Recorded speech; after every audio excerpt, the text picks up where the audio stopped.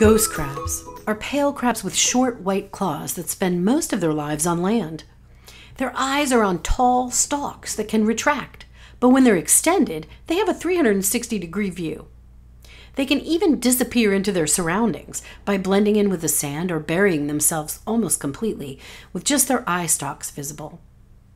Ghost crabs hatch as larvae in the water and eventually emerge as tiny, well camouflaged crabs.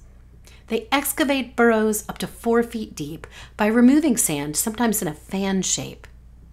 Ghost crabs are opportunistic feeders who feed on everything from coquina snails. See how they left these little scratches in the sand where they were digging? And sea turtle eggs and hatchlings. And here's one in a bird colony. They'll even drag garbage back home to snack later.